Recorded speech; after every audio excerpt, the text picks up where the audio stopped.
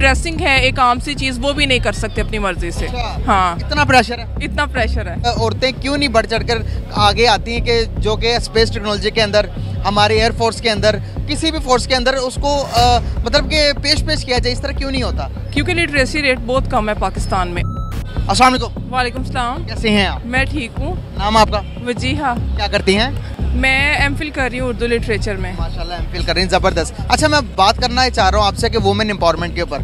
कितनी फ्रीडम है वुमेंस को पाकिस्तान के अंदर रहते हुए कि क्या वो जो दिल में आए वो कर सकती है या बिल्कुल भी नहीं। नहीं वो किसी भी मामले में अपनी मर्ज़ी से नहीं कर सकती। ड्रेसिंग से लेके कुछ भी कर ले एक ड्रेसिंग है एक आम सी चीज़ वो भी नहीं कर सकते अपनी मर्ज़ी से। अच्छा। हाँ। इतना प्रेशर है? इतना प्रेशर है। अगर हम कंपैरिजन करें हम उनसे ही अलग हुए हिंदुस्तान की बात करें क्या वहाँ पर वुमेन्स को ज़्यादा एम्पावरमेंट किया जाता हाँ है? वहाँ पे ज़्यादा है। फ्रीडम है वहाँ पे ज़्यादा फ्रीडम है। अच्छा आप ये इतनी यकीन से कैसे कह सकती हैं कि यहाँ पर नहीं वहाँ पर ज़्यादा है? क्योंकि मैंने खुद देखा है।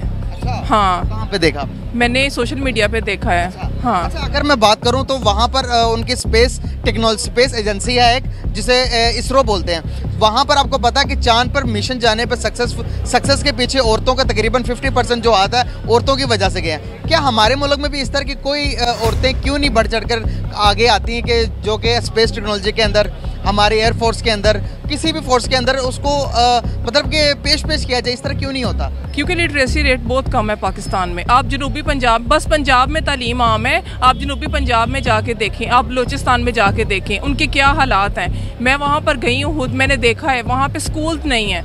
लड़कियों के लिए स्कूल ही नहीं है। तो फिर अगर इस तरह के हालात होंगे तो कैसे तरक्की करेगा मुल्क? क्या वुमेन की एक जो लड़की है माशरे की उसके लिए तालीम ज़रूरी है जिस तरह हमारे लोग समझते हैं। बहुत ज़्यादा ज़रूरी है। तालीम के बगैर वो कुछ कर ही नहीं सकती। चाँद पे जाएगी पढ़ेगी तो चाँद पे जाएगी ना। सही बात है।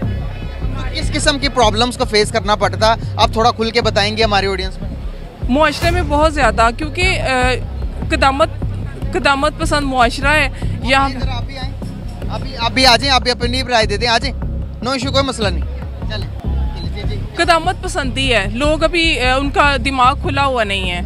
हाँ वो लिबरल नहीं है उन्हें अंदाज़ा नहीं है कि अगर हम औरतों को आज़ादी देंगे तो वो क्या क्या कुछ कर सकती हैं है हाँ। पूरा माशरा घर का निज़ाम पूरा एक वुमेन से चलता है कि अगर वो पढ़ी लिखी होगी तो पूरा घर भी। हाँ वो पूरी नस्ल चलाएगी क्योंकि औरत का पढ़ा लिखा होना ज़्यादा ज़रूरी है क्योंकि वही तो एक कामयाब मर्द पैदा करेगी उसकी तरबियत करेगी तो वो कामयाब होगा किसी काबिल बनेगा। अच्छा एक छोटी सी वीडियो मैं आपको दिखाना चाहूँगा। बिल गेट्स को जानती हैं आप? माइक्रोसॉफ्ट के जो ऑनर हैं। वो भी हमारे पड़ोसी मुल्क में है। वो देखें कि औरतों के बारे में नरेंद्र मोदी जो इंडिया के प्राइम मिनिस्टर हैं वो क्या राय रखते हैं और वो क्या कह रहे हैं? अपनी तरक्की बता रहे हैं बिल गेट्स को। और बिल गेट्स जो billionaire thank you for being here बहुत बहुत धन्यवाद।